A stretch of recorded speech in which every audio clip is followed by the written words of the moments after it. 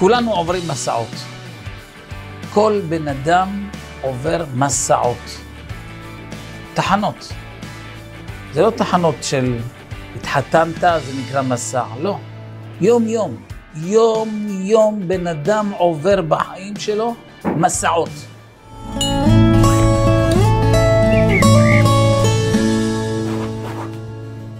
מסעות. וזה לאו דווקא כשאשתו ילדה. לא. יום-יום יש את המעברים של אותו יום. כל יום יש את המסע שלו, יש מסעות גדולים, לידה, חתונה, מצבים קשים, קורונה, כל מיני. יש תחנות חזקות, גדולות, אבל יש מסעיהם יומיומיים. מה העניין של המסעות האלה? למוצאיהם. זה מוציא אותך מהשגרה.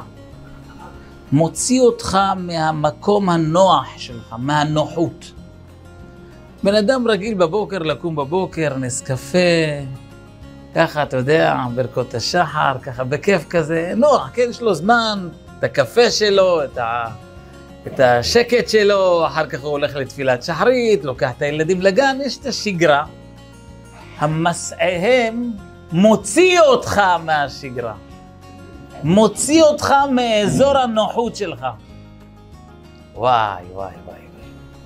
וכל יום יש מצבים שמוציאים אותך מהשגרה, כל יום. זה יכול להיות הגברת שלך, שהיום החליטה לשגע לך את השכל, עם כל מיני מילים שאתה לא יודע מאיפה היא באה לך.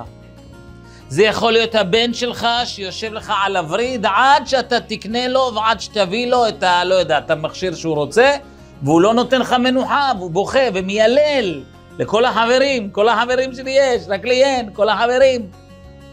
והוא משגע אותך, ואתה מתחיל להרגיש שאתה יוצא, אתה מתחיל לצאת. אתה יוצא מאזור הנוחות, מהאזור השגרתי הנורמלי שלך.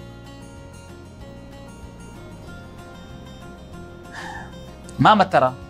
מה המטרה שמשמיים מסובבים לך מצבים שמוציאים אותך מהנוחות? לאיפה? מה, מה רוצים?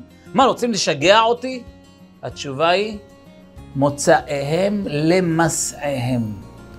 מוציאים אותך מהשגרה, מהמקום הנוח שלך, הרגיל שלך בנפש, למסעיהם, כדי שאתה תיסע, כדי שאתה תתקדם. וככה זה יום-יום. רבותיי, יום-יום כולנו עוברים את המעברים האלה. מסעות יומיומיות. וכל אחד בכיוונים שלו, כל אחד, כל אחד בבית שלו, בחברה שלו, בעבודה שלו, במה שהוא עושה. יש לך את, ה, את המסעות. פעם אתה הולך לעבוד, סיכמתם על מחיר מסוים, וזה שאתה בא ויגיד לו, נו, סידרתי לך את הביוב, סידרתי לך את, הצ... את החשמל, סידרתי לך פה, מגיע לי כך וכך.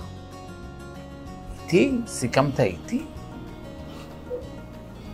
כן, סיכם. אני עבדתי פה יומיים, לא? לא, לא, זה לא מה שסיכמנו, אני לא הייתי מרוצה. מה, מתחיל בלאגן. וואי, וואי, וואי, וואי, מתחיל בלאגן. ופה, פה העבודה, פה העבודה שלך. להבין, הנה מסע. הנה הגיע המסע היומי. זה עכשיו העבודה שלי. וכן, מה העבודה? זה מוציא אותך ממקום שלך. עכשיו, כל אחד צריך לשים לב, לא תמיד זה אמונה. לא תמיד עכשיו זה השתיקה וזה לא הוא, זה השם. לא תמיד. לפעמים רוצים לך דווקא כן להגיב, אם אתה רכרוכי, אז אצלך העבודה היא לעשות הפוך. לפעמים זה ויתור, לפעמים זה... כל, כל פעם זה משהו, כל אחד והמסע שלו. זה לא מסע אחד, זה כמה.